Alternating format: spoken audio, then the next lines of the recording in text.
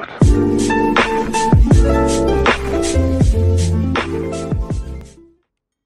everyone, my name is Colin, welcome back to another video, and today we're going to be doing something new. Today we're going to be doing perk guides. Today I'm going to be starting off with Berserker and make my all, all the way down to the Survivalist class.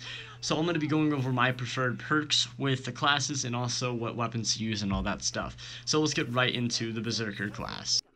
So the perks I use for the Berserker is Skirmisher, Vampire Resistance, Massacre, and Z times Spartan.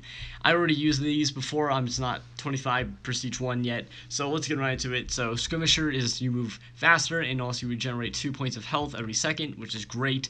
You heal 4 points of your health every time you kill a Z, and also you attack 20% faster uh, resistance is that you gain 20% resistance to all damage, gain additional 20% resistance to poison and sonic damage. Great.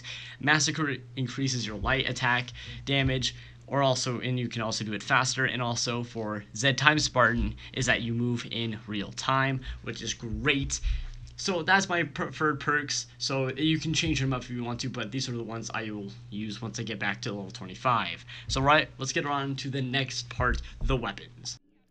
So the first thing about weapons is that you have a good choice or just choices to choose what weapon you would like to use. So the first one you have is a shovel, then you have a nail gun, which also does work. It's a pretty good weapon in general, but it's not really preferred. The Swindler, which is a sword, Pulverizer, which is an explosive sledgehammer, Static Strikers is gauntlets, Eviscerator is a thing that fires saws, and the Bone Crusher is a uh, shield and a mace. And they're all really good weapons, but the preferred ones you want, and also a katana, I did forget about that one.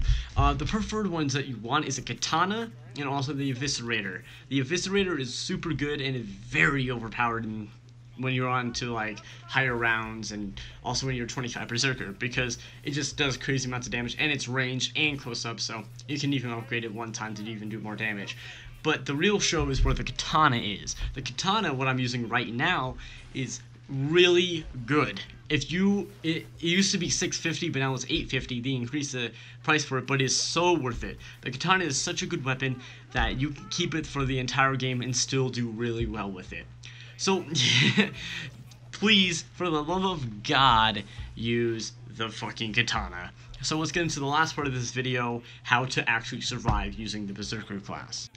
So for the last part of this video, how to survive with the Berserker class, I'm going to be showing you a clip of me beating the Abomination with the Eviscerator and also the Katana. I'm not level 25 yet, so this is not even, I don't even have the 20 perk yet, which is not good. I don't have the attack thing that makes me attack faster but nonetheless, I do beat him. So the way I do this is that I just keep moving. Since I'm able to heal my own self and do a lot of damage, I can just keep moving and do more damage. And also since the abomination's only mostly puke and also acid, I, am resistant to that. That's what the uh, resistant perk was. It reduces the amount of sonic and also acid. I don't even remember its name, but it reduces the amount of damage I can take from that. So I'm basically, I cannot die from this man. This dude is such an easy. This is such an easy fight that I don't even, like, look at this. Look at my health right now. I'm gonna zoom in right now. So, look at that. I'm, I can't even get past below 90 health. That is how overpowered the Berserker class is. He is probably the most easiest class other than the Survivalist. See right there, I beat him, and it's such an easy class. So hope you guys did enjoy this little video. I might have missed some topics, but it's my own, you know, thoughts on it. So I hope you guys did enjoy this video. This is such an easy class. If you're new, please choose this one. Hope you guys did enjoy, and I'll see you guys next time. Goodbye.